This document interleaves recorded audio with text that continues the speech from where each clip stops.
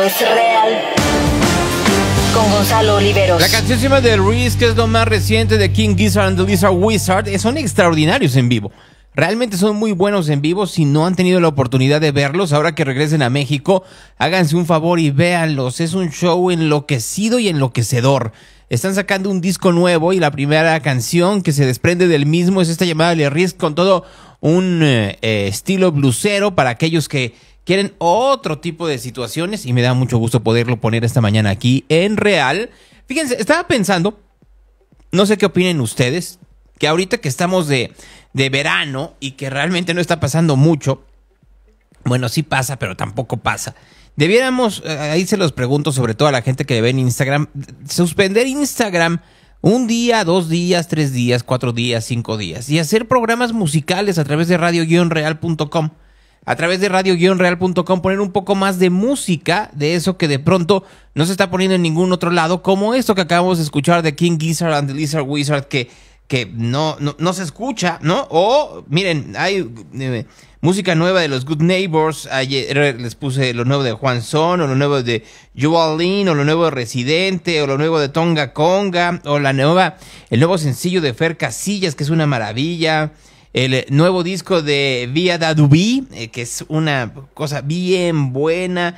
Lo nuevo de Childish Gambino, lo nuevo de Eminem, lo nuevo de Cuevo con Lana del Rey, lo de nuevo de Subtrack. Nomás para que vean. Ahora, no podemos transmitirlo a través de Instagram porque a Instagram no le gusta la música.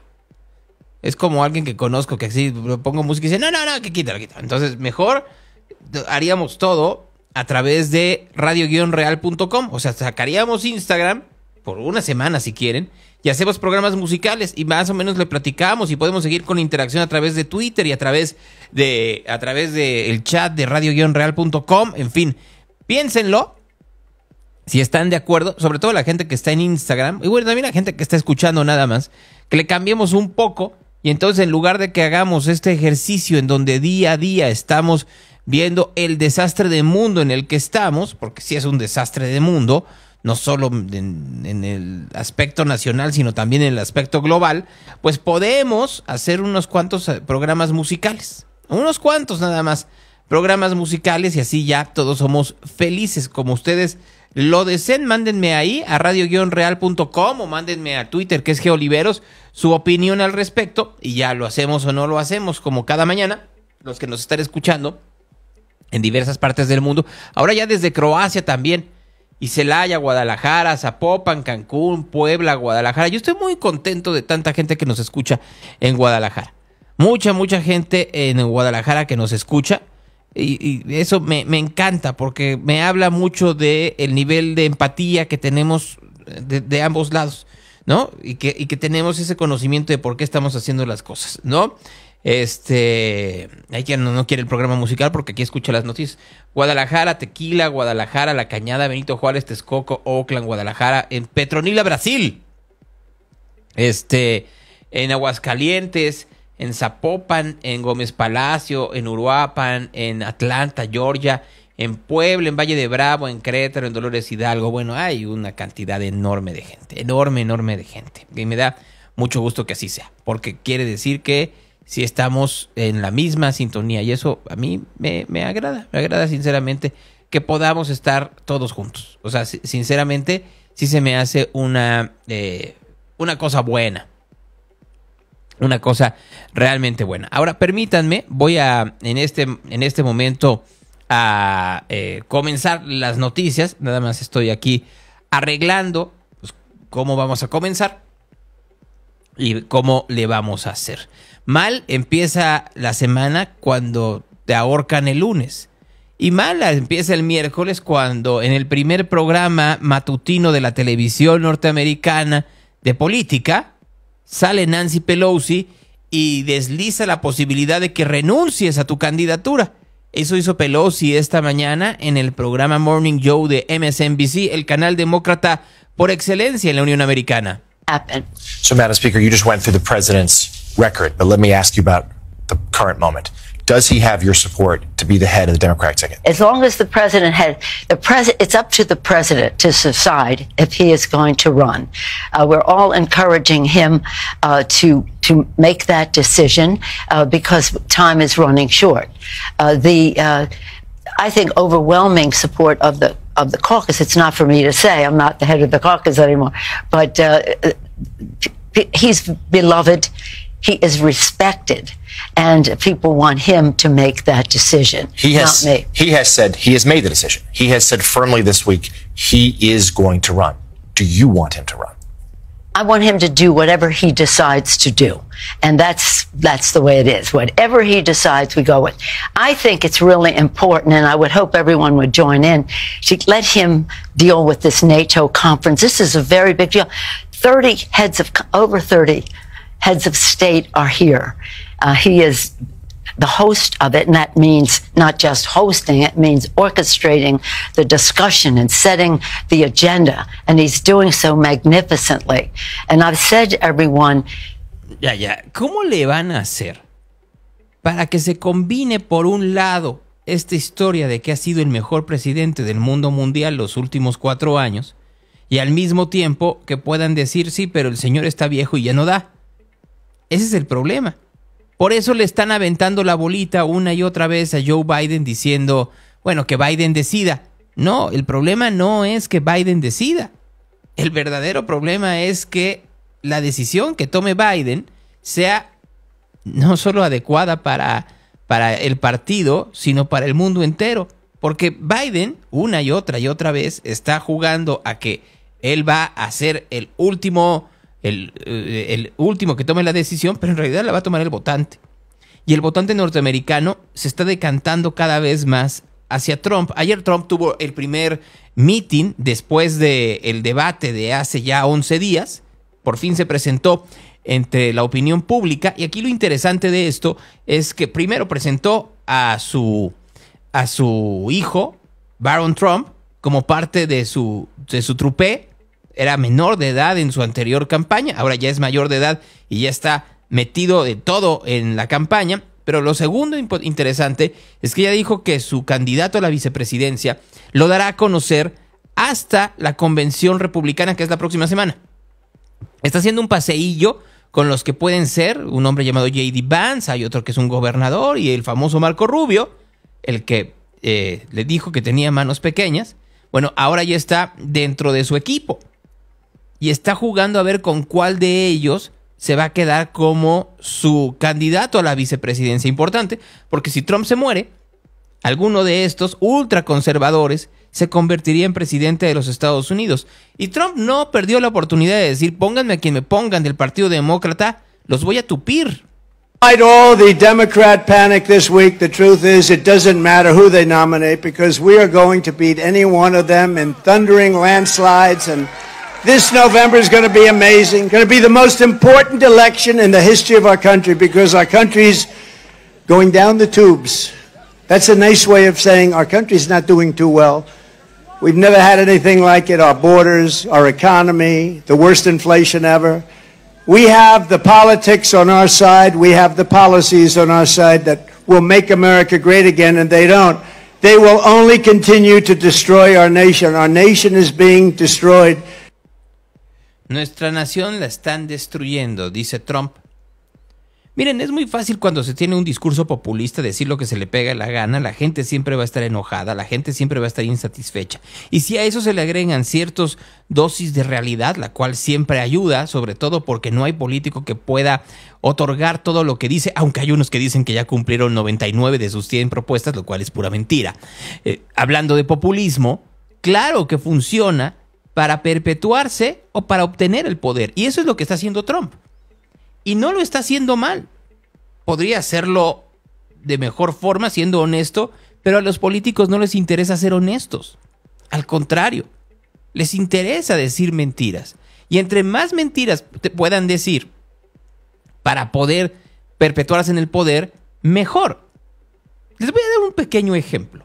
Esta mañana Elizabeth García Vilchis, la famosa señora de las mentiras, habló sobre la reforma judicial y de nueva cuenta habló de que tendría que hacer una reforma judicial porque los ministros ganan más que el presidente y eso es inaceptable. Pues decir el total, eh, bueno, 792 mil pesos mensuales. Esto es lo que gana un ministro de la Corte. Díganme ustedes si no les parece excesivo. Miren, lo que llama la atención aquí es la incongruencia.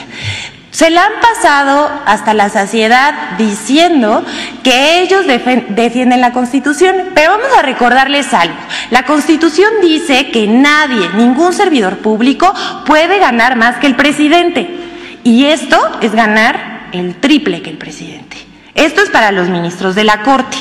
Pero vamos a decirles que también existen en el Poder Judicial 945 magistrados de circuito, quienes reciben un salario anual de 2.548.083 eh, eh, pesos. Aquí, este, este es el de los magistrados de circuito. Pero no son los únicos. Hay, hay 762 jueces del de distrito en el Poder Judicial que cobran, ellos cobran más que los magistrados, cobran 4 millones 50 mil pesos brutos al año, unos 337 mil pesos al mes, en total más de 3 mil, eh, de 3 millones 86 mil pesos. Mientras que los consejeros del Consejo de la Judicatura, pues se rayan la verdad es que se rayan porque perciben un salario bruto anual de 5 millones 529 mil 451 pesos. Esto, lo que les estamos diciendo, es dividido en salarios, prestaciones, bonos de riesgo, condiciones de trabajo, lo que sea que eso signifique, seguros personales, fondo de ahorro y seguridad social. Unos 460 mil pesos, eh, pesos al mes. Imagínense, esto es lo que gana un juez de distrito. Y aún así, intentan engañar a los trabajadores de base. Aquí Miren ustedes cómo la señora miente. ¿Por qué? Porque lo que dice ella es que ganan mucho y que ganan más que el presidente. Y saca un desglose de su sueldo con prestaciones completas. El chiste es que esos 100 mil pesos que gana el presidente, más de 100 mil, 108, 110 mil más o menos, nunca dicen cuáles son sus prestaciones. Porque de que tiene prestaciones, tiene prestaciones, comenzando por la, por la fundamental. ¿Acaso, acaso no tiene eh, el pago de donde vive, vestuario, celulares, servicio médico? Gas, luz, internet, todos los servicios que no tienen los ministros, no tienen los consejeros del INE, no tienen diputados y senadores. Quieren mentir de esa forma, porque siempre dicen que el presidente gana muy poquito, pero nunca le ponen la integración en el salario de todas las prestaciones que se tienen al ser presidente de México. ¿Es, eh, eh, ¿Es malo tenerlas? No, claro que no. Pero mentir es lo malo y tratar de utilizar solo el sueldo, la marmaja como tal, para medir a todos los demás, la misma Suprema Corte dijo que no fuera así. Que se tenía que dar el salario integrado. Y hasta el momento no lo han hecho. ¿Por qué? Porque saben que esta parte del discurso populista que se tiene desde el 2018 se caería fácilmente. Y por eso también no les gusta que los periodistas se los recuerden un día sí y el otro también. ¿El pleito es porque ganan mucho los ministros, magistrados y jueces? No. El pleito es porque no quieren, lo volvemos a decir, no quieren que los ministros, magistrados y jueces estén en contra de las distintas reformas que quieren echar para adelante, como ya lo estuvieron en el segundo tramo del gobierno de López Obrador. Ayer hubo un nuevo foro de la reforma judicial ahora en Chiapas Escuchen ustedes a Ricardo Monreal. Fechas recientes el Poder Judicial ha tomado decisiones y actuando de manera tal que se plantea interrogantes sobre su interferencia e intromisión en las funciones principales del Poder Legislativo y del Poder Ejecutivo, visibilizando la necesidad de un cambio de paradigma en los mecanismos de selección de los jueces y magistrados y ministros, así como de su organización y funcionamiento.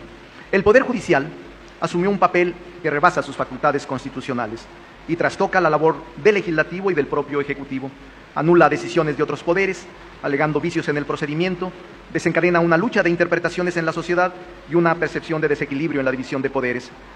No solo invade competencias, sino que también influye de manera directa en la creación, ejecución y suspensión de políticas públicas y leyes, así como en la elección de personas para cargos públicos. Por eso tenemos el mandato de imponer límites antes de que sea demasiado tarde. Y este órgano de justicia no debemos permitir que se convierta en un auténtico supremo poder conservador y que se sitúe por encima de los otros poderes.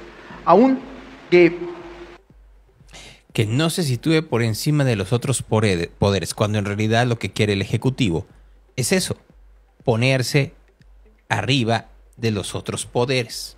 Déjenme, en este momento, ponerles la ponencia del día de ayer del ministro Laines, el mismo que habló de una manera muy sucinta en el primer foro que se llevó a cabo en el Senado de la República, y ayer, en siete minutos, que es lo que voy a, poner en este momento en real, dio una cátedra de qué es lo que está sucediendo en México con el sistema judicial. Muchas gracias, muy buenas tardes. Siempre un placer estar en Chiapas, cualquiera que sea el contexto. Muchas gracias por la invitación.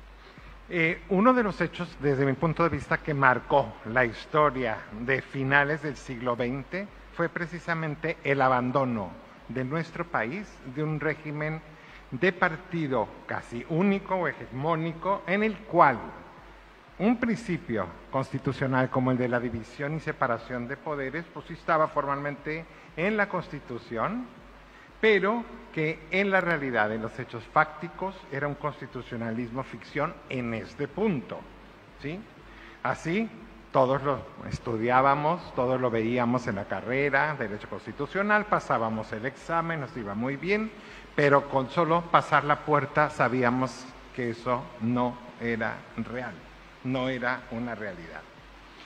Así, al final de este régimen, el Poder Judicial de la Federación requirió de una muy, muy profunda reforma para prepararlo, precisamente para que actuara como un órgano de contrapeso del poder como lo mandataba la Constitución. Fíjense, curiosamente, el, legislativo no requirió ni una reforma.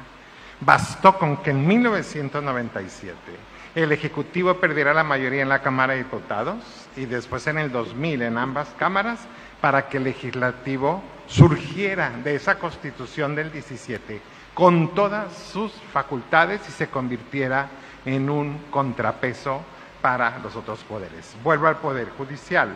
Se prepara entonces a ese poder para enfrentar ese camino, largo camino hacia la democratización del país. Dos figuras, ustedes lo saben, la acción de inconstitucionalidad, la decisión contramayoritaria, creando un tribunal constitucional que le permite a la Suprema Corte de Justicia, en este caso, declarar la inconstitucionalidad de normas, aun cuando no hayan, hayan sido aplicadas, y con efectos generales. Esta reforma obedeció a que la ciudadanía desde entonces reclamaba que el juicio de amparo era limitado era elitista y además era con efectos relativos. Esto fue un primer paradigma para acercarnos a los efectos generales. La controversia constitucional se desarrolló, ya no se iban a ejercer las facultades eh, metaconstitucionales del presidente de la República y entonces permitir que un municipio pueda defender sus competencias frente al Estado. El juicio de amparo también evolucionó de manera sumamente importante, siempre, y eso quiero decirlo, todos estos fueron actos del constituyente, no fue interpretación de la Suprema Corte. El juicio de amparo se evoluciona.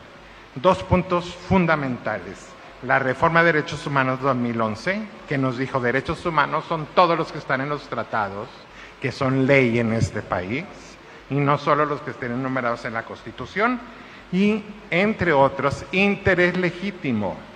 Este interés legítimo que ha permitido a los grupos más vulnerables y a las personas que menos tendrían acceso porque no tienen un interés jurídico a proteger el medio ambiente, a proteger los derechos culturales y los derechos sociales. Tendremos oportunidad de regresar a este punto porque yo entiendo que impacta en políticas públicas Eso no lo puedo negar.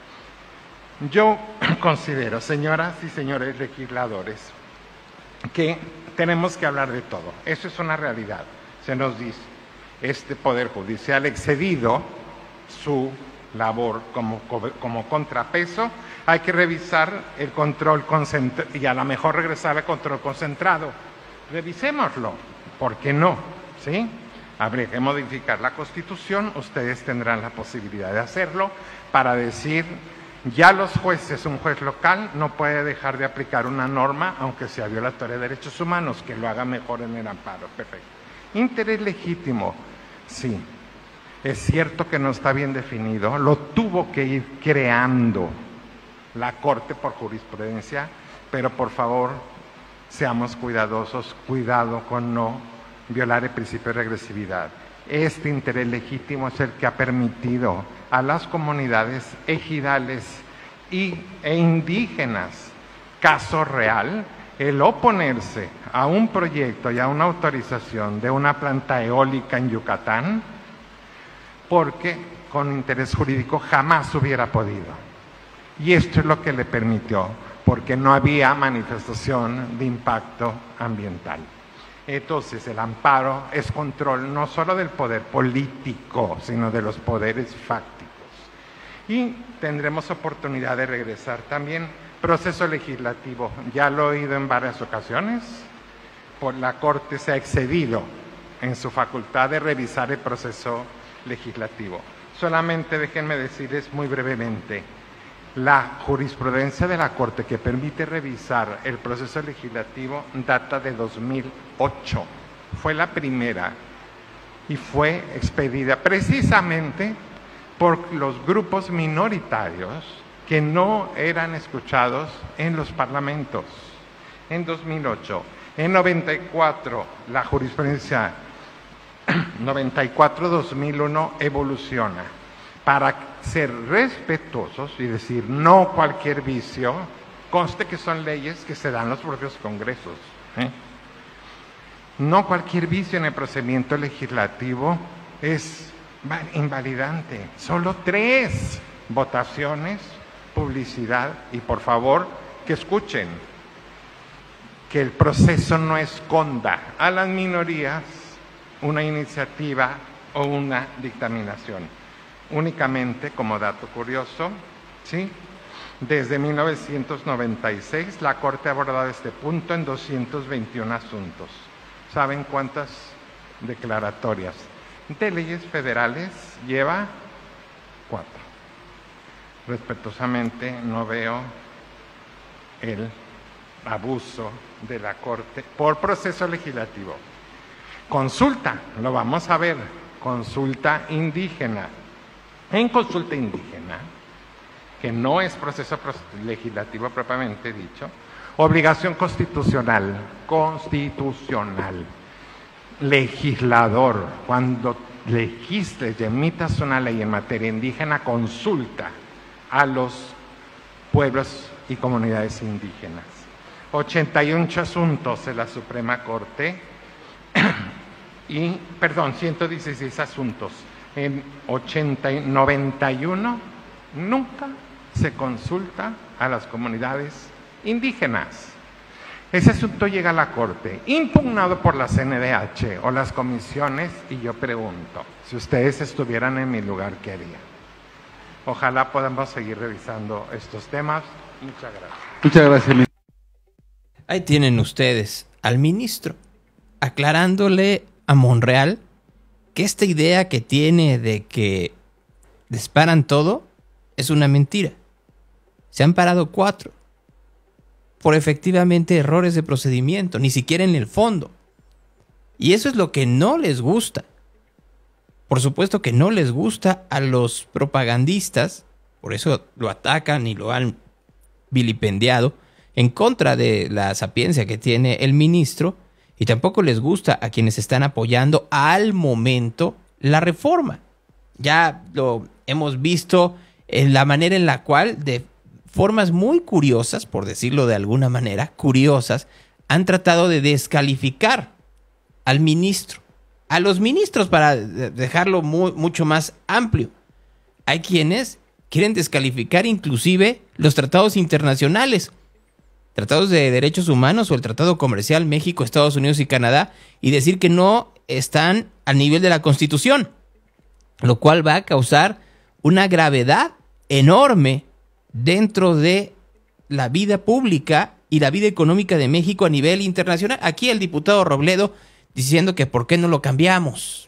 Si se tratara de resumir dialécticamente toda la discusión que traemos, proponemos que de una vez quede literalmente en el artículo 133 que la Constitución es norma suprema sobre cualquier otro orden jurídico nacional o extranacional.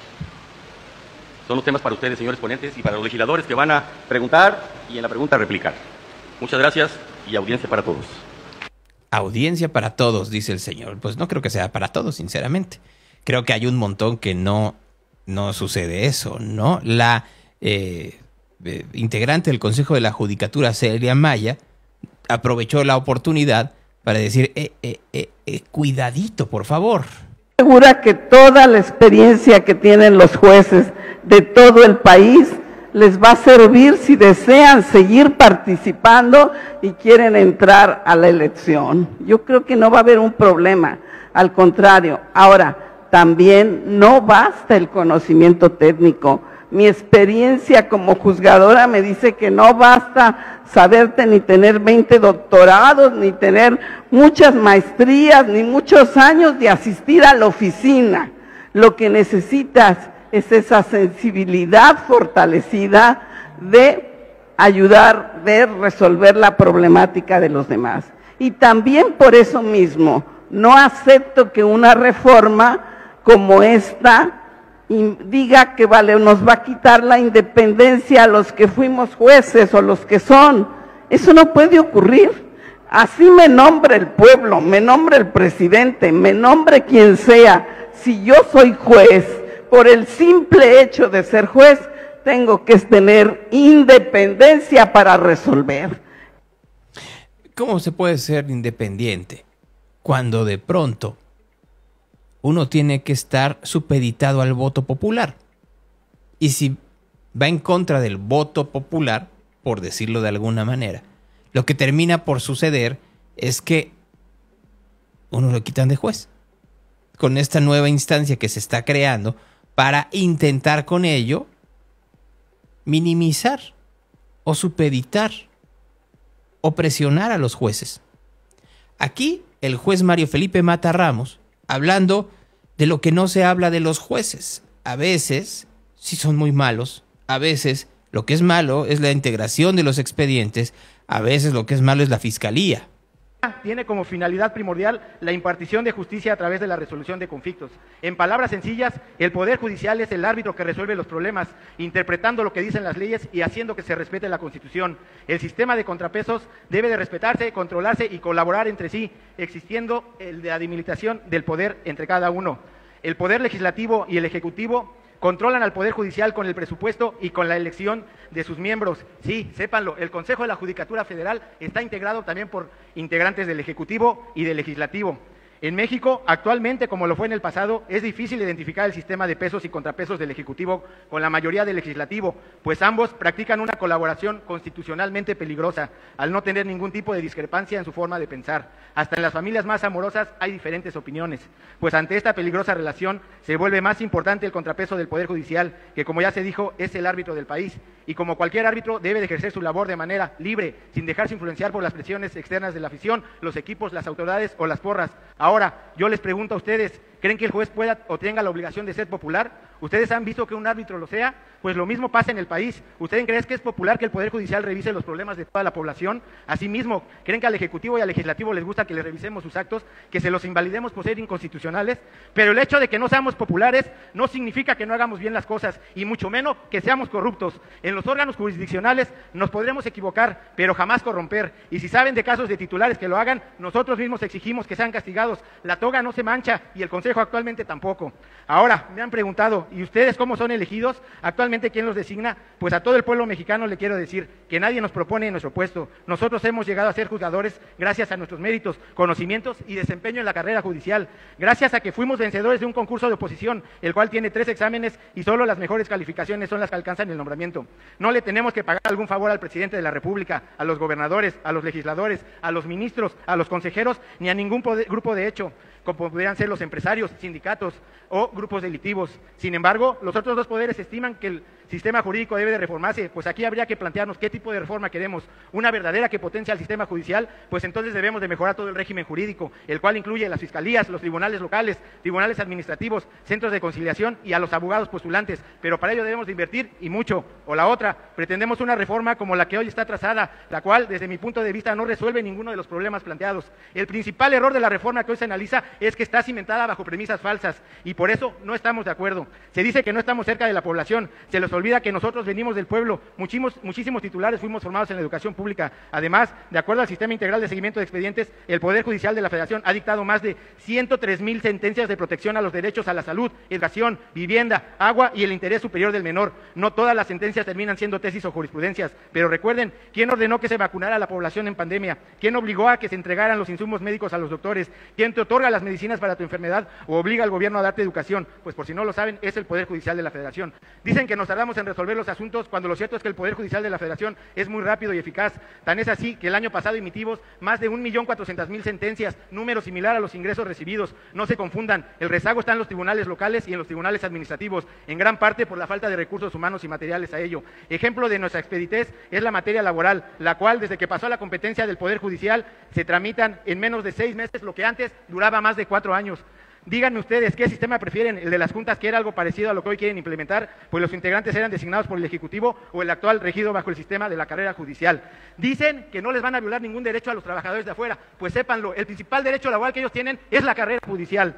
Nos dicen que generamos impunidad cuando lo cierto es que las fiscalías judicializan únicamente el 3% de los asuntos y lo hacen con gran deficiencia. Y si bien es cierto que de acuerdo con cifras del INEGI, hoy solo contamos con el 40% de confianza, dicho porcentaje es superior al que cuentan los diputados, senadores y partidos políticos, órgano que es superior al que cuentan los diputados, senadores y partidos políticos, órganos que se encuentran en los últimos dos lugares de confianza de la población y que hoy pretenden emitir las candidaturas para ser sujetas a voto popular. Ustedes son el ente de gobierno con menos percepción de confianza en el país y no he escuchado que deba de cambiar su sistema de elección, pero sí pretenden politizar al Poder Judicial de la Federación llevando a las urnas. Los juzgados solo servimos a la Constitución y hoy se quiere que se sirva a los políticos y se dé la espalda al pueblo. Queremos una reforma, pues hagámosla, pero potenciemos el sistema de justicia de manera íntegra y proporcional. Aprovechemos las virtudes del sistema actual, repliquemos la carrera judicial en todo el sistema de justicia y corrijamos sus defectos, pero no pretendamos quitar el dolor de riñón Por favor, tiempo, con medicina. Muchas gracias. Mi propuesta para potenciar el sistema judicial, y con esto termino, serían profesionalizar todo el sistema de justicia en base a un verdadero sistema de carrera. no, se, no se equivocaron. Le cortaron el micrófono. Las verdades no les gustan a quienes hacen estos foros. Les gustan más la propaganda. Les gusta efectivamente la manera en la cual hacen todo tipo de maromas para decir que están bien, que lo están haciendo bien. Quien se presentó el día de ayer fue Xochil Gálvez en la en el foro allá en Chiapas. Hizo algunos algunos señalamientos que vale la pena recuperar. Tener la tan anhelada justicia para los mexicanos se requiere una reforma integral. Uno, es necesario atender la prevención del delito con educación y justicia cívica. Si no ordenamos las calles, no podremos ordenar el país. Dos, reformar las instituciones de procuración de la justicia estatal y federal. Las capacidades de investigación están rebasadas. La mayor deuda de la justicia con la sociedad está en los estados. Estoy a favor de una reforma al Poder Judicial, pero sin odio y sin venganza. Estoy a favor de una reforma que tenga como prioridad justicia para las víctimas del delito. Y finalmente, es urgente una reforma al sistema penitenciario. En la imposición de penas no puede haber privilegios, pero tampoco violación a los derechos humanos. La actual propuesta de reforma al Poder Judicial no resuelve los problemas de la gente, pero sí puede generar más injusticia, con ello más encono y división entre los mexicanos. No está diciendo algo equivocado la señora Galvez. En realidad es muy coherente. Uno se pregunta por qué no dijo estas coherencias cuando estaba en campaña, pues porque mucho estaba presionada por los dos partidos políticos. El PRD no podía hacer mucho, que lo que querían era ganar las posiciones legislativas para sus dirigentes. Estoy de acuerdo en desmantelar la carrera judicial federal. Es indispensable contar con conocimiento, experiencia y honestidad. La popularidad no es sustituto de la capacidad y el mérito. Y yo lo digo claro y fuerte, que se escuche hasta Palacio Nacional. La experiencia no es igual a corrupción. Por todo esto, no estoy de acuerdo que se elijan por el voto popular a los ministros de la Suprema Corte ni a los jueces y magistrados de la Federación.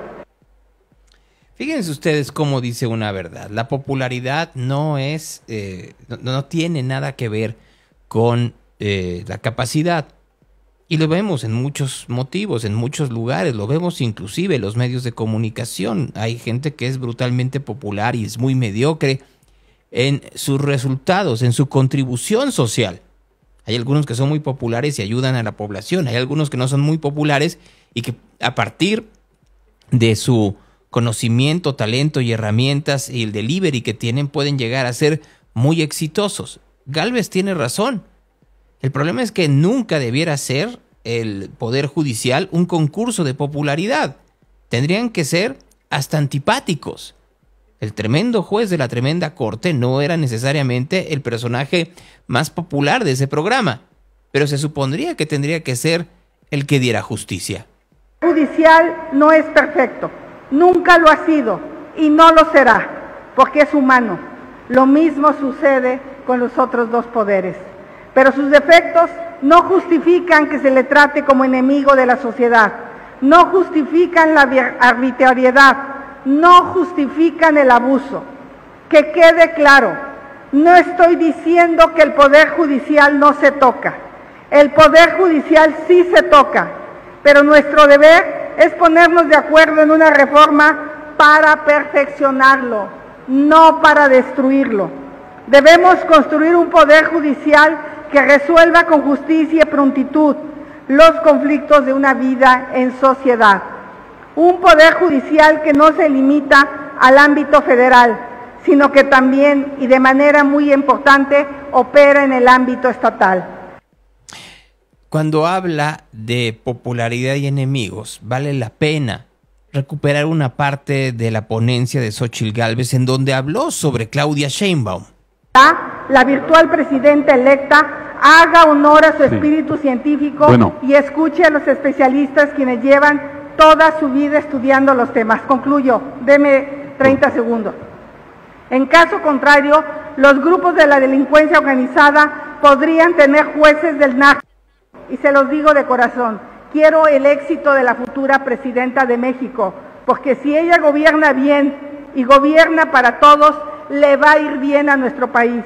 Y la pregunta que les hago, ¿coinciden que la experiencia de un juzgador lo convierte en corrupto? Muchas gracias.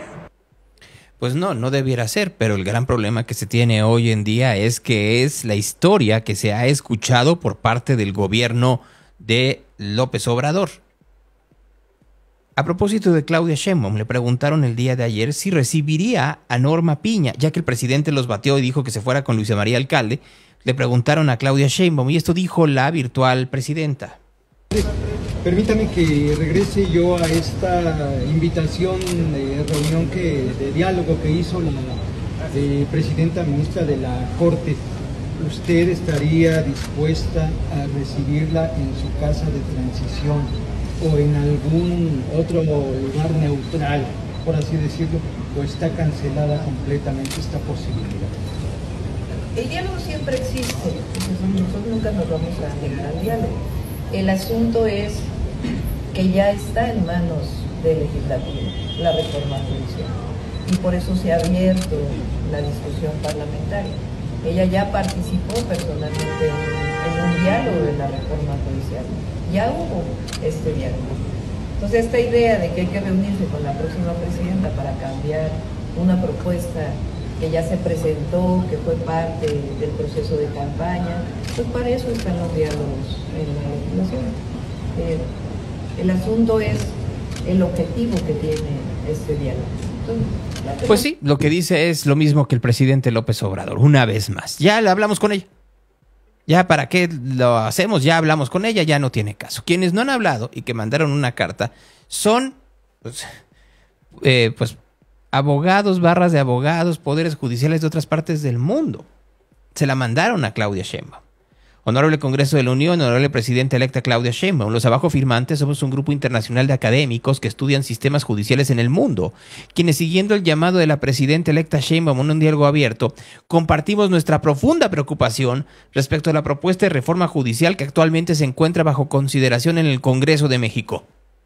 Reconocemos la urgente necesidad de reducir la impunidad y la corrupción en el nivel judicial, así como la de garantizar a la mayoría de los mexicanos el acceso efectivo a la justicia.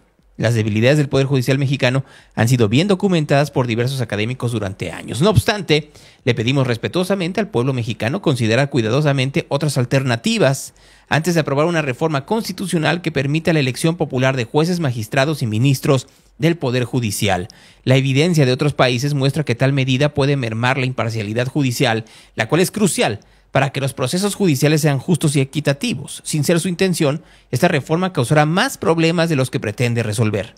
La imparcialidad judicial es la piedra angular de un sistema de justicia democrático y cualquier reforma siempre debe salvaguardar este principio fundamental. Por esta razón, con mucho cuidado los diseñadores deben de crear mecanismos efectivos de controles y contrapesos para garantizar que los jueces sean imparciales y responsables y que puedan tomar decisiones sin anteponer sus intereses personales al bien público como muestra la evidencia de otros países. La elección popular de jueces politiza el poder judicial, lo que genera posibles sesgos y conflictos de intereses. Los jueces pueden sentirse obligados a favorecer a la opinión pública o comprar votos, lo que podría comprometer seriamente su imparcialidad, así como la integridad de los juicios, los acusados y las víctimas sufrirán por la inseguridad jurídica generada cada vez que las causas judiciales se retrasen con el ciclo electoral. En resumen, es más probable que las elecciones populares aumenten la corrupción y la dilación judicial, disminuyan la imparcialidad e independencia judiciales y afecten negativamente las experiencias y percepciones de justicia entre víctimas y acusados. Por lo tanto, instamos respetuosamente al pueblo mexicano y sus representantes a explorar soluciones alternativas para abordar las causas profundas de la corrupción, la impunidad y la ineficiencia dentro del Poder Judicial, buscando la necesaria imparcialidad e independencia que un Poder Judicial necesita. Creemos que un enfoque de reforma colaborativo, transparente y basado en la evidencia es esencial para garantizar que la reforma construya un sistema de justicia fuerte, justo y eficaz a los intereses del pueblo mexicano. ¿Y quiénes firman? Bueno, pues firman la Universidad de Argentina, Estados Unidos, Alemania, la Universidad de Delaware, en Argentina otra más, de Brasil, la Universidad de Texas en Austin, la Universidad de la República de Uruguay, el Instituto de Educación e Investigación de Brasil, la Universidad de Wisconsin, Oxford, Carlos III de Madrid, eh, la Universidad Diego Portales, la de los Andes de Chile, el Berlin Social Science Center de Alemania, la Universidad de Utah, allá en los Estados Unidos, eh, la Universidad de Minnesota, el eh, Due Process of Law Foundation de los Estados Unidos, la Universidad de Houston, la McGill University, en fin, un montón de instituciones están firmando diciendo, hey, aguas con lo que viene, no vaya a ser el diablo. La ministra Piña se presentó ayer en la noche en el programa de entrevistas de Adela Micha. Son los problemas que le interesan a las personas, ¿no? Digo, eh, nosotros decíamos, bueno, es que en estos foros se va a hablar de la independencia judicial, de la división de poderes, de los tribunales, de la conformación, y te das cuenta, por ejemplo, que solo el 9%, y además eran juzgadores, fueron los que les interesaba el tema. Mm. A la mayoría lo que les interesaba, interesaba realmente era conocer sus derechos y eh, las víctimas. Eso, eso es lo, que le preocupa a la ciudadanía. Que ahí debería de estar concentrado y centrado, ¿no? Pues sí, pero no es así. La discusión está si son eh, antidemocráticos, corruptos y ganan mucho, parte de la propaganda. Y ese es el gran problema que tenemos hoy en día, la enorme, la enorme propaganda que hay alrededor de esto. Y mientras tanto, la justicia no entiende, no entiende de ello. Hay algunos atisbos. la justicia en Hidalgo anunció esta mañana que detuvo a un hombre de 28 años que sería el responsable del asesinato del adolescente en la carretera Pachuca. Este que la semana pasada escuchábamos al padre cómo se dolía después de la balacera por la cual murió su hijo. Uno. ¿De cuántos? Y como hay una de cal, vamos a escuchar a la empresaria baja californiana Minerva Pérez Castro. Que ya está trabajando también la autoridad, este, sí necesitamos más vigilancia de Conapesca en las costas y pues bueno, eh, poquito más de eh, gestión. ¿Qué productos son los que más están este, pescando de manera ilegal? Los de más alto valor. Por ejemplo, a langosta, almeja generosa, abulón.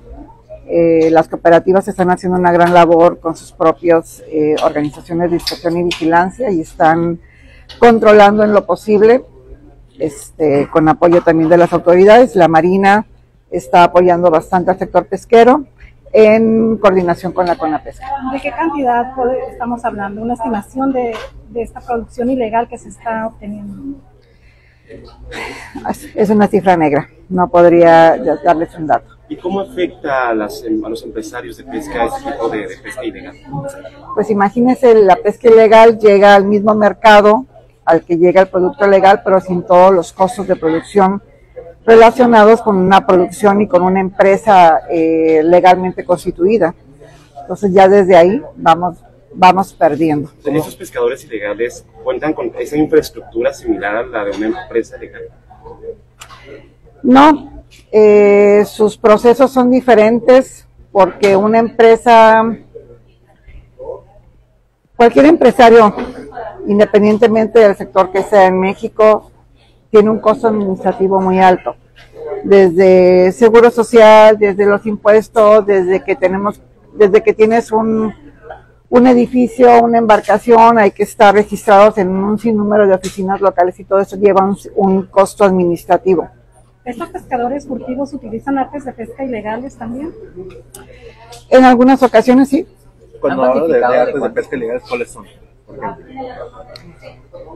Ah, eh, vamos a hablar eh, mallas de red eh, que no sean de la bueno, aquí tienen a Minerva Pérez Castro denunciando pesca ilegal y cómo las autoridades no hacen nada en Baja California para, para evitarlo. La entrevista fue el lunes a mediodía. Ella ya no va a ver si efectivamente hacen algo, porque el lunes en la noche fue asesinada allá en Baja California.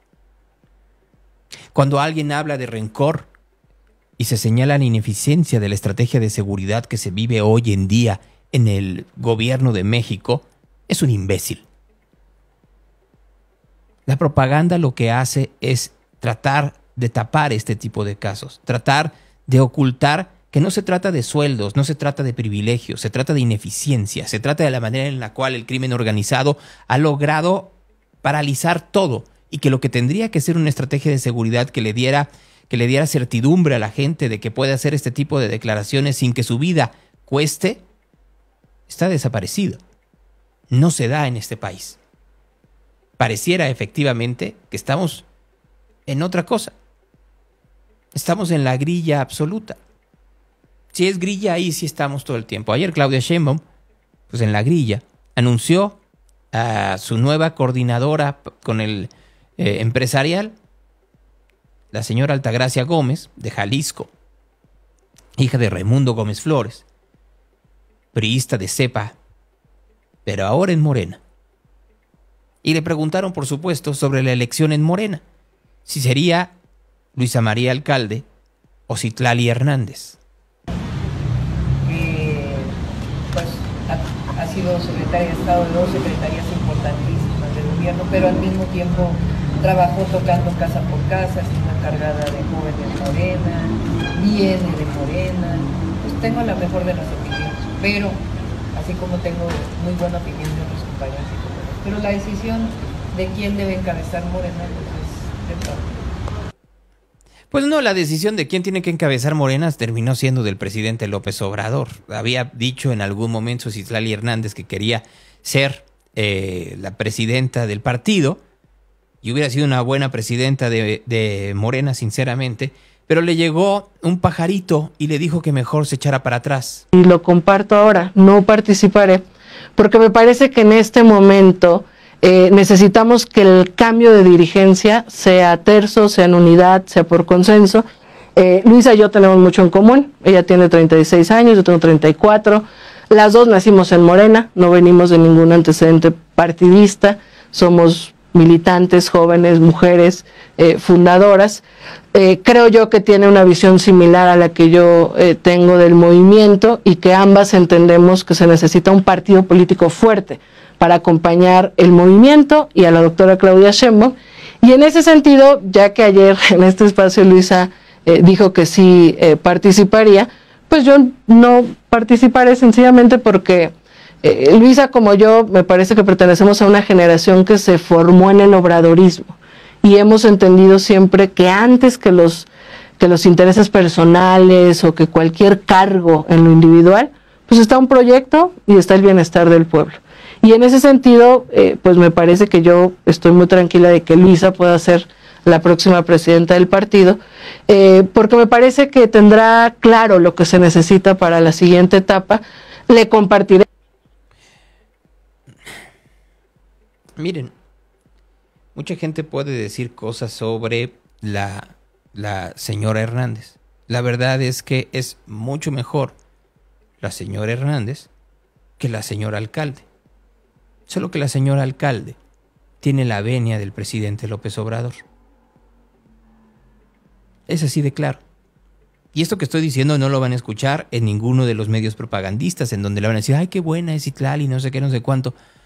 Pero nunca van a decir que es mejor que Luisa María Alcalde. Fue una buena secretaria del trabajo, Luisa María Alcalde, sí, con la ayuda de su padre. Y ha sido una muy mediocre secretaria de gobernación. Muy mediocre. Quiere el partido, porque no es para ella. Es la otra pinza para poder poner en control el gobierno de Sheinbaum. Cuidadito y se quiera hacer un lado de lo que pidan desde desde Palenque. Antes de acabar, así como Norma Piña le dio una entrevista a Adela Micha y a Leonardo Curcio, pues el que también está haciendo tour de medios es Alejandro Moreno y tuvo un ríspido encuentro con René Delgado en el financiero. Defender la libertad de expresión. Ya te expresaste con libertad de con todo libertad, lo que con libertad, con claridad. Ahora respóndeme la pregunta. ¿Cómo es que después de perder todo lo que has perdido, de sufrir el éxodo de cuadros, de expulsar a quienes ya se fueron, ¿Cómo es que pretende seguir al frente? Precisarte, yo no expulsé a nada. Yo no expulsé a nadie. No, yo no los expulsé, porque no los expulso yo. Hay que ser precisos con el auditorio. Y segundo, no se perdió. Hay una, eh, digamos, comisión que es autónoma, que es un organismo jurisdiccional con gente de prestigio, que toma las decisiones en el partido basadas en las normas internas y en lo que dicen nuestros estatutos. Y también decirte, al final, lo que queremos nosotros es cómo podemos dar mejores condiciones de competitividad, porque tú sabes que en una normalidad democrática. No te avergüenza después de todo lo que has perdido. Pero no, pero, esa es la narrativa del gobierno y la dices muy bien. Mira, te voy a decir porque esa narrativa que tú tienes o sea, tú no tienes es la narrativa del gobierno y la narrativa de esta bola de cínicos que quiere dividir al PRI, que es el peor lastre del partido. Esa es la narrativa. y la repiten. Entonces, ¿yo qué te digo? Con mucha claridad.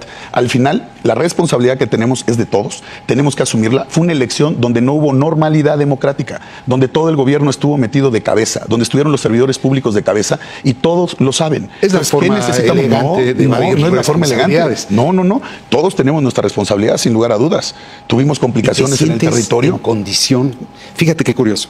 Te quejas supuestamente del autoritarismo, te quejas Oye, de ¿No hay autoritarismo en este país? Eh, sí. ¿En qué país estás viviendo? Pues yo, yo, yo, estoy en Oye, este ¿estás aquí? Yo pensé que vivías en Finlandia o en algún lugar. En bueno, si te gusta. Puede ser, porque al final del camino aquí no me vas a decir que hay respeto a la libertad de expresión. Pero están persiguiendo a compañeras y compañeros tuyos. no, no me cambies No, sí, los están persiguiendo, los están señalando. Hay que defenderlos. a ver, Alejandro reconcentraste el poder en la figura del presidente. El presidente se puede, del partido se puede reelegir, puede nombrar coordinadores, reduce a la mitad el consejo político y me vienes a hablar del autoritarismo. Un dato tranquilo nada más. El tema del consejo, el tema del consejo. Y otra vez volvió a atacar a, Aurelio Nuño, a Manlio Fabio Beltrones, a todos los que están alrededor. ¿Cómo quieren de esta forma el poder, el poder salir adelante. ¿Cómo quieren de esta manera el que el PRI pueda recuperar algo? No lo están comprendiendo. Pareciera que estamos muy por debajo de lo que se necesita en cuanto a oposición.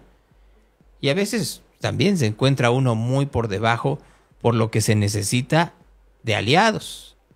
El New York Times esta mañana tiene una nota, una eh, editorial hecho por George Clooney, sí, el George Clooney que ustedes y nosotros conocemos y que es uno de los principales eh, simpatizantes y de los que da la marmaja, el dinero a el señor eh, al señor Biden y al Partido Demócrata y que hace efectivamente estas convites para decirle a sus amigos, actores, directores, escenógrafos, escritores, maquillistas, etcétera, etcétera, en Hollywood, que le pongan dinero a las campañas. Bueno, pues George Clooney dice esta mañana, adoro a Joe Biden, necesitamos un nuevo candidato. Adoro a Joe Biden, necesitamos a un nuevo candidato. y así quieren ganar. Miren, estamos a 10 de julio. Se supondría que quedan cuatro meses para pues, la elección. Agosto, septiembre, octubre y noviembre. En cuatro meses tendrían que ver además, supongamos que se retira Joe Biden. ¿Cómo le van a hacer con Kamala Harris? ¿Cómo le van a hacer con los electores afroamericanos? ¿Cómo le van a hacer con los hispanos? el arroz se le pudrió. El problema que hay es que no solo está podrido el arroz del Partido Demócrata, sino con él el arroz mundial. Es cierto, existe el proyecto 2025, está publicado, la gente lo puede leer, ver efectivamente que hay un sector ultraconservador. Tan preocupados están muchos por la extrema derecha en Francia o en Alemania, cuando la tenemos en la puerta de la casa. Y esa extrema derecha es la que va a terminar eliminando cualquier atisbo de chantaje que quiera hacer el gobierno de México, ya sea López Obrador o Claudia Sheinbaum. Y ahí, ahí es en donde le vamos a sufrir. Conversaciones. Se supone que va a entrar en este momento, pues yo nada más estoy esperando que así sea, Gustavo Rodríguez Reina que esta mañana, hay que me pide invite, que esta mañana vamos a hablar con él de lo, a lo que está haciendo hoy en día. Miren, em, ayer que hacía una pequeñísima historia, ayer o antier, eh, una pequeñísima historia de Real, pues hay que, que hoy comencé en la mañana hablando de, de tomar un descanso de las noticias por cinco días por lo menos para hablar de música y tratar de cambiar la vibra. Pues es que hay que entender que en un inicio este programa, este, su, su objetivo era muy parecido al que tenía, eh, al que tenía coup d'etat, golpe de Estado contra la indiferencia, contra la mediocridad.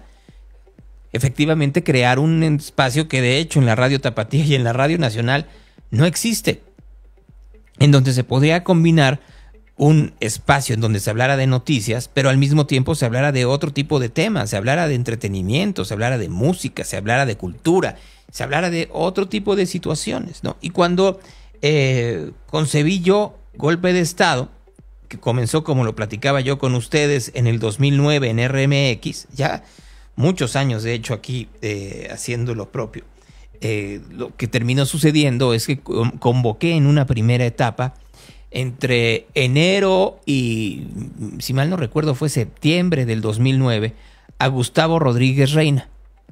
Y estuvo conmigo ahí, ¿no? Este, eh, muy, muy, muy puesto.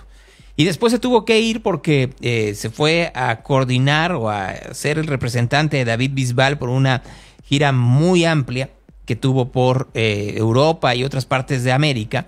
Después regresó, ahí a la salida de, a la, a la salida del señor Rodríguez Reina llegó Miguel Galán, después de que se fue Miguel Galán llegó Álvaro Velasco, después de Álvaro Velasco llegaron ya muchos más, ya convocamos ahí a Paul Moch, convocamos a, a Javier Berain, a, Alberto Lujambio, a Patricia Peñalosa, a Cristian Cambresi, a Fernanda de la Torre, entre los que estuvo en algún momento Canija Lagartija, eh, después ante la, después de ser expulsado de Puerto Chipotle llegó Antonio Escobosa en fin, un montón, una cantidad brutal. Saúl Lomelí estuvo también por ahí, etcétera, etcétera. Y de vez en cuando regresaba Rodríguez Reina, que de hecho había llegado a RMX con un proyecto que eh, había creado llamado, eh, llamado eh, Mambo, que eran ocho pasos para llegar aún más lejos. Un programa que era bastante bueno. Era bastante, bastante bueno lo que hacía Gustavo con, con Mambo. Y tuvo todo tipo de invitados, incluyendo aquellos que utilizaron los micrófonos para hablar mal de, la estación y del grupo empresarial al que, al que pertenecía, siempre en una completa libertad. Después de ello, pues Gustavo se ha dedicado a un montón de cosas. Eh, y tiene una agencia de desarrollo creativo digital. Se suponía que iba a entrar, pero por, por alguna razón no ha entrado. Seguramente este, se le, se le junto la chamba. Vamos a esperar un momento a que entre Gustavo, pero pues en vista de que no llega, mientras se conecta o no se conecta Gustavo Rodríguez Reina. Reporte de tráfico. Voy a ir con Marco Vinicio, ¿no? Para que nos diga el reporte de tráfico y no nos quedemos a la mitad, ¿no? Así de sencillo, ¿no? Eh, era un muy buen programa Mambo. Es un buen creador, Gustavo. Tiene sus defectos, entre ellos que es un cerdo capitalista. Ya lo, ya lo sabemos, pero pues no todo aprender que hay también otro tipo de intereses, algunos compartidos y otros no, pero ya nos platicará en un momento Gustavo Rodríguez Reina de qué es lo que está haciendo. Marco, ¿cómo estás? Buenos días. Bien, gracias hoy Gonzalo, qué buena semblanza y qué buenos recuerdos, tanta gente que pasó por CUP desde el principio, ¿no? Y ahora sí que lo seguimos de, cada uno de sus etapas, con cada uno de ellos, a veces, inclusive en conjunto, ¿no? Ya hasta, a veces hasta cinco o seis personas en cabinas, si mal no recuerdo, sobre todo los viernes. Era un programa muy, era un programa muy concurrido y tú ahí comenzaste a dar este reporte de tráfico, ya que eh, teníamos una sección que tenían que hacer, eh, pues Pablo González, Yair Cardoso o Fátima Varela en su momento, y luego la hicieron este, Betina Moreno, la hizo Mar en San Luis Potosí, la hizo Ninfa Guevara en San Luis Potosí, la hizo Paulina Carreño también en Guadalajara, pero tú fuiste, y como sigue siendo el momento, parte fundamental para ayudarle a la gente a saber por dónde tenía que ir. Ayer no se inundó Guadalajara. Sí. Sí, Gonzalo, hubo una parte, algunas partes del sur que también todos volvieron a sufrir inundaciones, algunas partes de Tlaquepaque, ya no como la lluvia de antier o, de anteayer, pero la verdad es que sigue lloviendo muy fuerte y hay gente que la sigue pasando mal, sobre todo porque hay muchas colonias que todavía siguen eh, teniendo, muy, eh, mira, está Gonzalo justamente en las imágenes, y muchas colonias que siguen sin luz todavía, que están teniendo problemas con energía eléctrica, y pues bueno, eh, pues a seguirnos cuidando, resguardeciendo, porque también nuevamente lloverá el día de hoy. Pero fíjate, estas imágenes que están viendo a través de Instagram, pues no, no son de, Guadalajara, sino es Veracruz. Veracruz, le fue muy, muy mal. Yo sé que en Zapopan se inundó, igual que Antier. Bueno, le están echando la culpa al gimnasio por la caída de los vidrios. No, no tiene la culpa el gimnasio, ¿eh? O sea, en realidad sí está un poco más complicada la cosa. Pero Veracruz, bueno, literal, ríos. Y apenas estamos, a, vuelvo a decirlo, 10 de julio. Nos falta todo agosto y todo septiembre y una parte de octubre para que haya estas tormentas claras que por lo menos en la zona del Golfo y el Caribe, y ya no digamos en algunas, algunas costas que haya en, eh, por supuesto, Nayarit, Jalisco, Michoacán, eh, Sinaloa, Sonora, también les puede dar durísimo. Entonces, miren, ahí Veracruz. Vean cómo se tambalean los, eh, los autos, autos compactos y semicompactos que se daban unos con otros, porque literal el viaducto se convirtió en río y entonces pues los pobres autos salieron flotando y pegándose unos a otros, Marco. Sí, así es, Gonzalo, horrible la situación en Veracruz. Eh, justamente ayer llovió sobre todo en la zona sur, en Avenida Colón, 8 de julio. Pero sí, Veracruz horrible, Gonzalo, y ahora más porque ya no hay Fonden, ¿eh? No, mira, lo, del Fonden, pues, ¿qué te puedo decir? ¿No? O sea, sí es un gran error, tampoco llegaba que digamos, estas son imágenes ahora de, de Chiapas, en donde en Chiapas dijo que literal está la cosa durísima, también las lluvias del día de ayer. Y los más pobres siempre son los más afectados, Marco. Así Sí, Gonzalo, voy a decir una cosa que no voy a decir, pero la verdad es que, como dicen, el, como dicen, el perro más flaco se le pegan todas las pulgas. Y la verdad, sí, Gonzalo, con más afectaciones, las zonas, este, algunas zonas más pobres o más humildes de, las áreas metropolitanas. Y mira, Gonzalo, para quien no quieran verlo, pues el, cambio climático es una realidad y hemos hecho destrozos por todos lados. Eh, mira, sí, el cambio climático, pero también la inconsciencia, la manera en la cual las autoridades dicen, mira, pues, ¿qué, qué mejor pretexto, Marco, que decir el cambio climático? ¿No? Dicen, ay, mira, si se inunda, decimos que todo estaba bien, pero la culpa es el cambio climático. No, no, no. y entonces, pues no había, no, hay forma de que le puedas ganar a eso. Y la, verdad, yo creo que es una cosa totalmente distinta. Yo creo que sí tiene que ver una parte del cambio climático que ha hecho que los fenómenos meteorológicos sean mucho más intensos. El niño, la niña, los huracanes, las vaguadas, etcétera, etcétera. Pero al mismo tiempo hay un grave, un grave problema en el cual la infraestructura de las ciudades no ha sido adecuadamente eh, preservada, cuidada.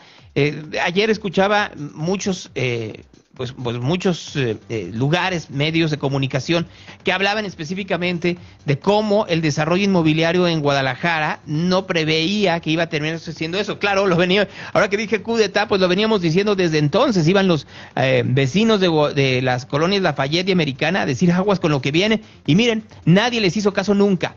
Y ahí tenemos las consecuencias, Marco. Sí, y mira, lo que habíamos dicho también hace mucho, ¿no? Lázaro Cárdenas en su momento cuando se hizo, mucha gente se burlaba de que, decían, oye, ¿para qué tan, una avenida tan grande? Y mira, Gonzalo, fue rebasado, inclusive el Parque del DEAN como vaso regulador también fue rebasado. Y justamente, ¿no, Gonzalo? La sobrepoblación en muchos lados, los ductos que son los mismos, las calles que son las mismas, pues ya no dan abasto para poder sacar el agua, pues porque ahorra el agua. Bueno, pues eh, con una bonita, bonita postal de Puerto Vallarta desde Webcams de México, el reporte del tráfico, por favor. Sí, claro, Gonzalo, comentarles a ti y a todos cómo se encuentra la área metropolitana en estos momentos. Recordarles a todos que hay cierres en Pablo Valdés y Gaza, así como un socavón en Demóstenes y Cairo, un socavón que ha ido creciendo, por cierto, y que tiene eh, cerrada parcialmente la vialidad. Además, también hay una fuga de agua importante en Batallón de San Patricio y Monte Olimpo, esto en la zona eh, de la Independencia. En Jesús Michel González y Camino Agua Amarilla, un percance entre particulares mantiene colapsada la vía. En carretera, eh, hay un, en carretera Chapala un percance a la altura del kilómetro 13, una camioneta de carga cayó en un socavón en carretera del Salto, en su cruce con carretera El Verde, en Avenida La Paz y Chapalita otro percance, igual que en Avenida 16 de Septiembre y Niños Héroes, en el centro de la ciudad. Comentarles a todos que también hay una volcadura en camino al Zapote y Avenida Alpial, esto en Tlajomulco, hay cierres en calle Alelí y Lomas Verdes, esto en la colonia El Órgano de Tlaquepaque, y en el lateral de Lázaro Cárdenas y Progreso, en dirección hacia la metropolitana, un percance también entre particulares mantiene cerrada esta lateral.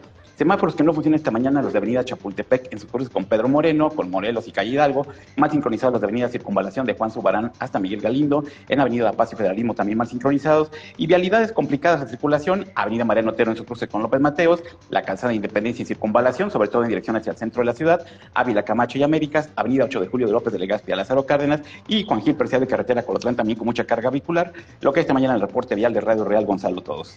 Fíjate, me están diciendo, Marco, que el presidente López Obrador habló de que faltó diálogo sobre la extinción de Notimex. Yo lo único que puedo decir es...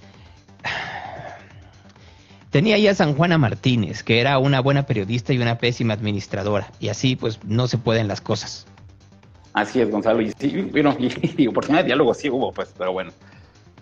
No, yo no creo que haya habido diálogo. Acuérdate que se fueron a pues. huelga y que le cerraron las puertas hasta que literal, los corrieron. Sí. O sea, ya no pudieron hacer absolutamente nada porque los, los, terminaron, los, terminaron Ni liquidando, eh, liquidando, liquidaron Notimex y pusieron por encima a este, pusieron por encima al a las uh, grillas de San Juana Martínez. En fin, bueno, gracias Marco. Gracias a ti, Gonzalo, un abrazo, que estés muy bien, cuídense todos. Si otra cosa no pasa, por aquí nos vemos mañana. Hasta entonces. Ahí está Marco Vinicio. ¡Ay, me escuché doble! Conversaciones. Bueno, ahora sí, ya vi que ya está, ya, entró, pero me tienen que me tienes que pedir entrar, Gustavo. Así, yo por alguna razón no te puedo invitar. Este, pero si, pídeme un eh, eh, entrar a este live. Ay, mira, aquí ya te vi. Te acabo de mandar un invite para que entonces puedas entrar y puedas platicar con nosotros esta mañana aquí en Real, esperando que ya haya llegado Gustavo Rodríguez Reina, ¿no? Ya ahora sí. Ahí estás, mira, ahora sí, ah, ¿no? Porque pues, ah, este, luego desapareces ¿Cómo estás, Gustavo? Hace mucho, pero mucho que no te veía. Vengo a subirte el rating.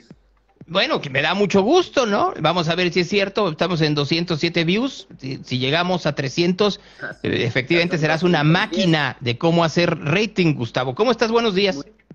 Muy, bien, Gonzalo. Siempre me da gusto verte. Este, me da gusto escucharte así porque me trae muy buenos recuerdos de todo lo que hicimos en, en el club de TAP. ¿Te acuerdas? Lo platicaba hace un momento, lo platicaba eh, antes de que llegaras, de cómo, de cómo te invité a que te, te incorporaras a ese programa después de que habías hecho una cosa extraordinaria llamada Mambo, cómo te saliste del mismo porque te fuiste con Bisbal a peinarle los rulos, de la forma en la cual luego regresaste, regresaste con Mambo, etcétera, etcétera, etcétera. Y creo que en cada uno de estos casos yo siempre he reconocido algo en ti. Tienes como toque de Midas. Ah, eso dices, pero no, no me sale, o sea, mira, ahorita ahí va, ahí va lo que estoy haciendo. Este, este podcast va a ser más difícil, porque, porque no nos estamos yendo por el rating, ¿no? O sea, tú dices que, lo que toco lo, lo, hago oro y he tenido algunos éxitos y, y sí, pues le he chambeado para eso y, es con construcción de equipo para no sonar soberbio. Eh, y no me digas este, cerdo capitalista.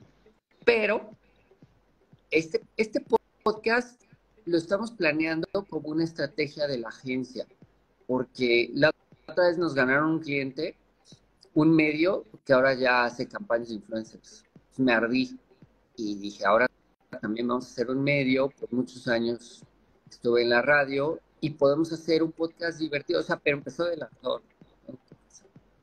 Y a partir de ahí, pues invitamos a Chaparro, que está firmado en la agencia. En la agencia tenemos como a 40 talentos firmados, pero además hacemos marcas, llevamos la comunicación de, en, digital de influencers de Oxxo, de Alpura, hemos trabajado mucho tiempo con Nissan, con, como con 200 marcas el año pasado. Ay, sí, dime ser capitalista. Y además tenemos un área de PR, entonces hacemos el PR para Amazon Studios en toda Latinoamérica, incluido Brasil. Entonces dije, pues podemos decir algo en un podcast, ¿sabes? Aunque no, no vamos contra Jordi Rosado, que si yo hiciera un podcast de chismes, puta, la rompo, ¿eh? Pero esto está más orientado a que de repente alguien descubra la agencia y diga, ok, me agrega valor como marca, me agrega valor como agencia de management de música, como agencia de management de influencers, como PR, y entre todos confesemos cosas que, si lo ves te sirvan en el mundo. Es que, fíjate, Gustavo, perdón que te interrumpa, pero sí creo, a ver, por principio de cuentas es un poco arriesgado porque el mercado de podcast está saturado, ¿no? Hay unos muy, muy buenos, hay unos muy, muy, muy, muy, muy malos.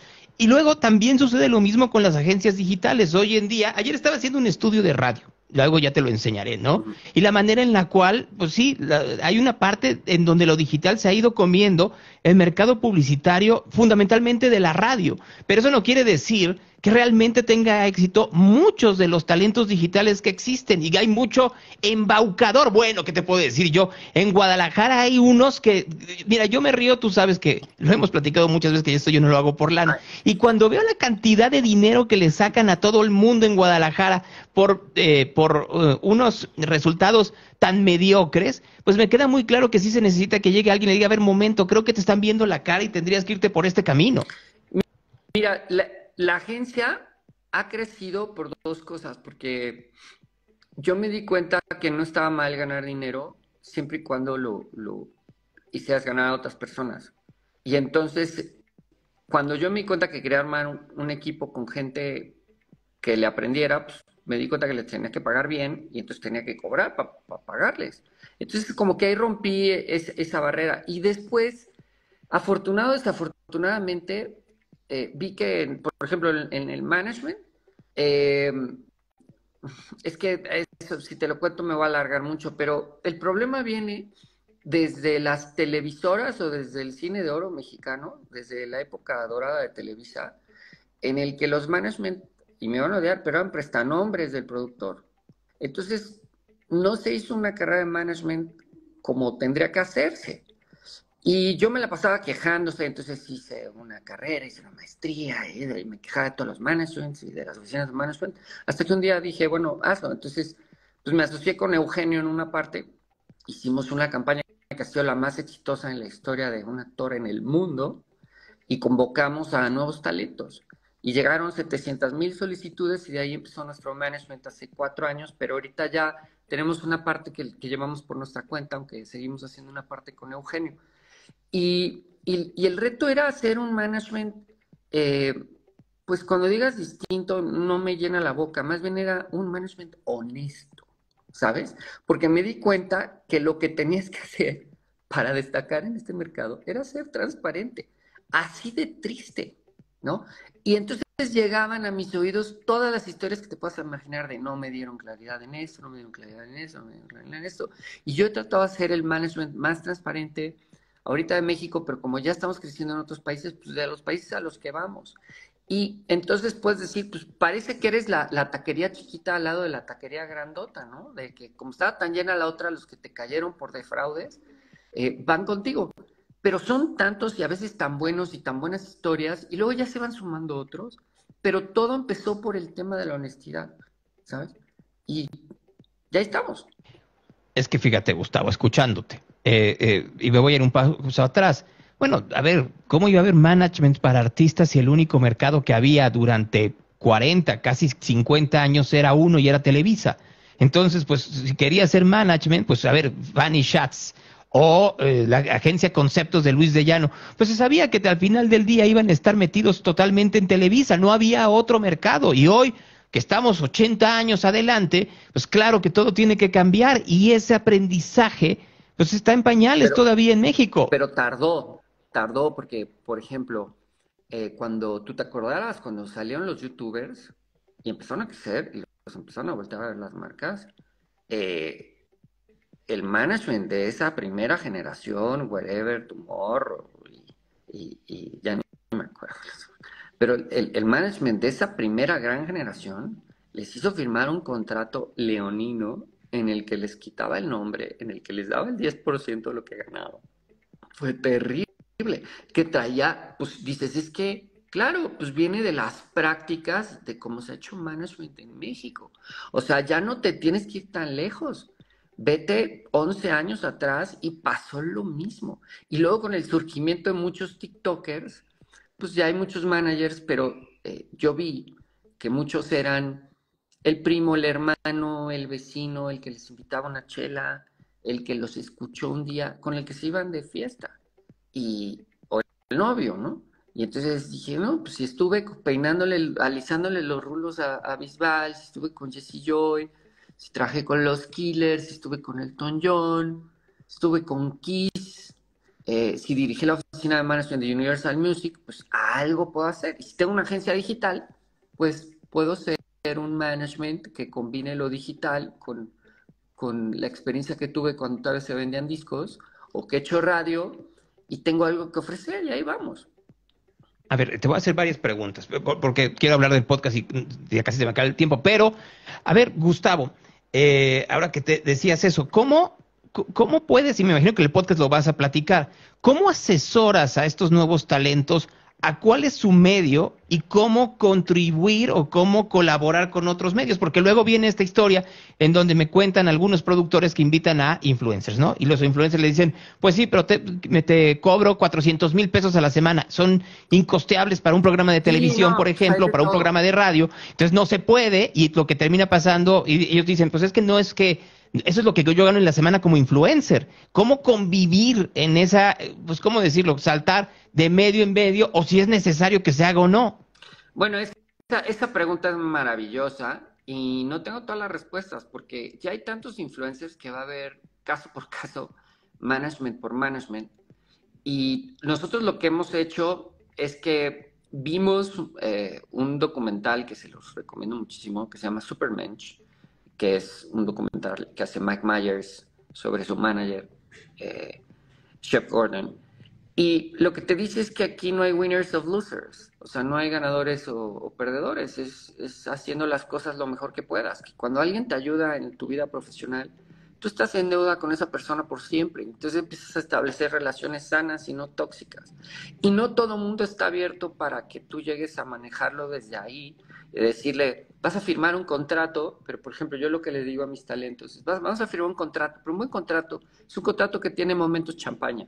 O sea, tú vas a cuidar el porcentaje, el tiempo, si cedo derecho o no, perfecto, ¿no? Y ya te asesoraste con tu abogado, amigo pero genera un contrato con tu oficina que tenga momentos champaña. O sea, vamos a generar algo que en un momento tengamos que destapar una botella de champaña. Yo no tomo alcohol, pero que lo hicimos tan bien, ¿qué está pasando? ¿Sabes? Entonces, viene de, plantear ese caminito, aunque no soy papá, o sea, no podría ser y asesor de, detalles de cuarenta y tantos talentos, pero ahorita firmamos a la Garfield y con ellos sí nos vamos a meter porque es el que queremos crecer de música. Y no lo digo por despectivo con los demás, que se enojen, ¿no? Pero con los demás tengo un equipo muy grande de gente que cuida su PR, cuida que estemos muy bien con marcas y cuida el management. Y luego con las marcas, cuido muy bien a las marcas y les ofrezco talentos en exclusiva, más las relaciones que tiene la agencia, más PR. Y luego con los que tengo un PR, pues les ofrezco que tengo talentos en exclusiva y que hay marcas que puedan patrocinar su evento. Y así nos vamos cuidando entre todos. Espero haber sido claro. Y el podcast es un reflejo de esto que te estoy diciendo, ¿no? Entonces, es parecido a Mambo, porque se llama Ignition, porque así se llama la, agencia. Y en lugar de hacer el mambo del 1 al 8, aquí vamos del 5 al, al despegue, ¿no? Es, un conteo regresivo. It's a countdown. It's a final countdown. Hasta que despega el cohete y nos van diciendo cinco cosas que han implementado en, en, en los negocios digitales, en el mundo digital, para despegar. Y de eso se trata. A ver, Gustavo, este, eh, ya casi para terminar, porque te escucho y sí, pues te, a ver, tienes influencers, tienes TikTokers, tienes YouTubers, tienes artistas, tienes cantantes, tienes músicos. Tengo juntas. Eh, eh, mira, ahí y ahí está todo tu equipo, ¿no? Este hay, hay que saludar. de Brasil. Mira, está Martina allí. Bueno, Nidia y Veres si son de México, pero a ver si se ven. Ahí están. Bueno, no se ven. Oh, qué la chispa. Bueno, ahí están. No se ven. Ya. Bueno, pero la pregunta es, ¿qué hubieras hecho tú este, con los candidatos? ¿Qué hubieras hecho con Xochitl Galvez? Ay, qué buena pregunta. Mira, nosotros hicimos la campaña eh, y estamos haciendo la campaña de candidato honesto con Adrián Uribe. Entonces, de alguna manera me involucré en, política, pero con una película. Y por otro lado, con quien platiqué fue con Chertorivsky.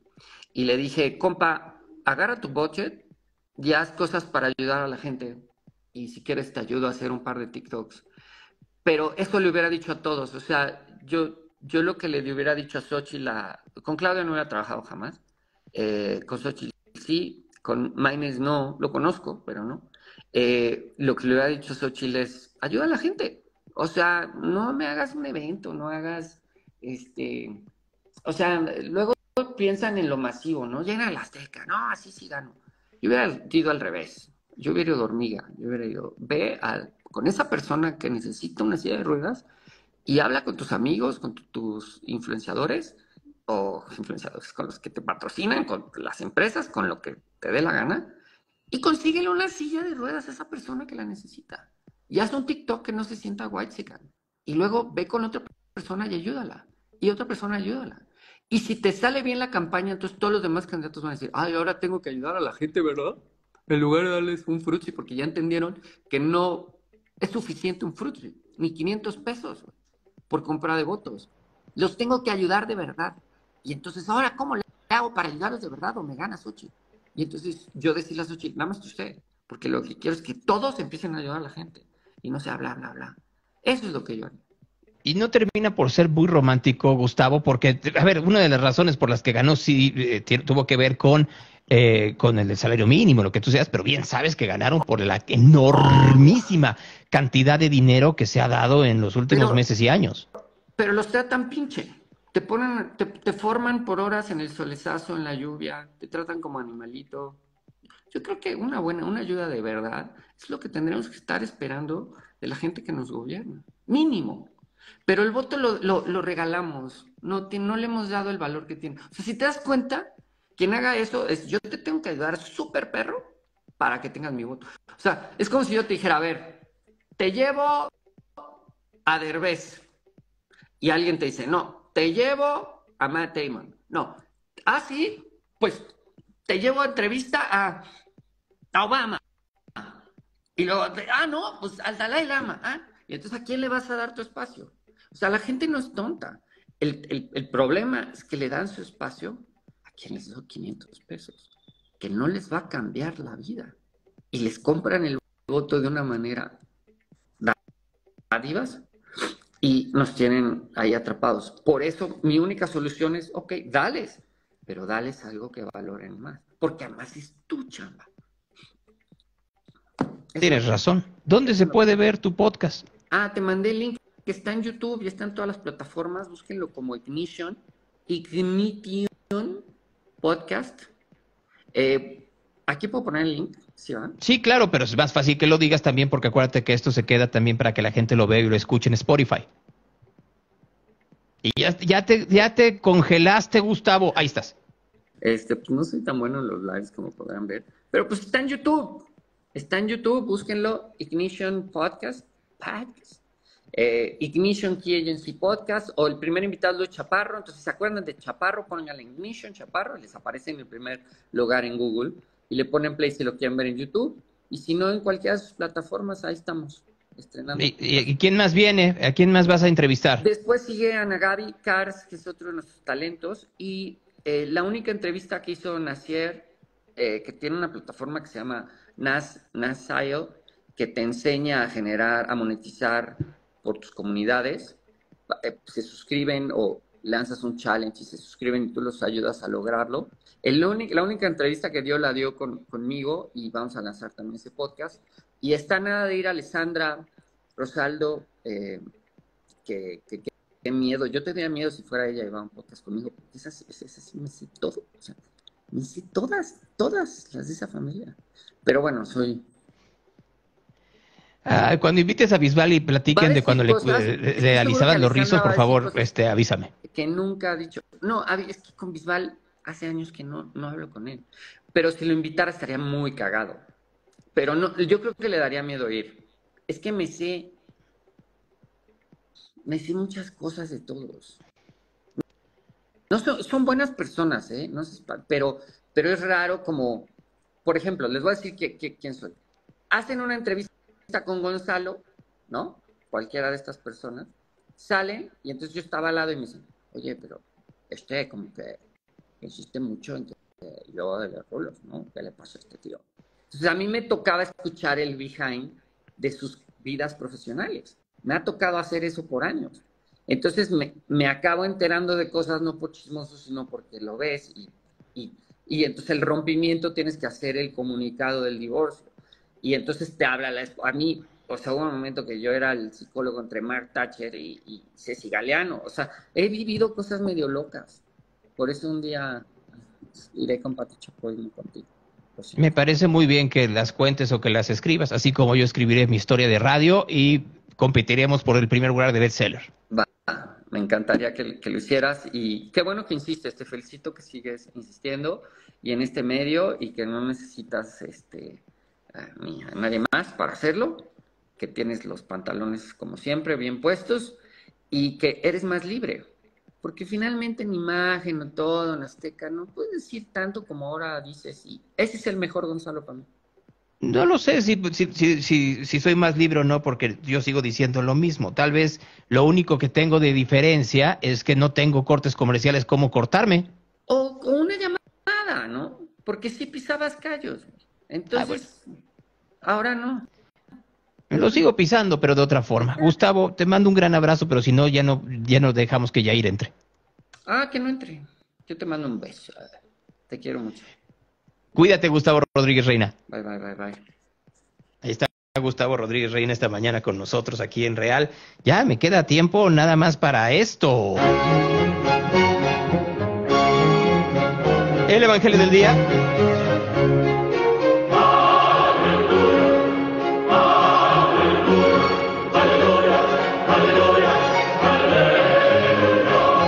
Aquel tiempo, llamando a sus doce discípulos, se les dio poder sobre espíritus inmundos para expulsarlos y para curar toda enfermedad y toda dolencia. Los nombres de los dos apóstoles son estos. Primero Simón, llamado Pedro, y su hermano Andrés. Santiago el de Zebedeo y su hermano, y su hermano Juan. Felipe y Bartolomé, Tomás y Mateo el publicano, Santiago el de Alfeo y Tadeo, Simón el cananeo y Judas el iscariote, el mismo que le entregó. Estos dos envió Jesús después de darle esas instrucciones. No toméis camino de gentiles ni entréis en ciudad de samaritanos. Dirigios más bien a las ovejas perdidas en la casa de Israel. Y proclamando que el reino de los cielos está cerca. Es palabra de Dios. Real Radio, the station of the cat. Que quería ofender a Gustavo, pero que el chat no lo permitió. No, ya, mejor que se queden escuchando Musicofilia en 30 segundos. Gracias. Muy buenos días.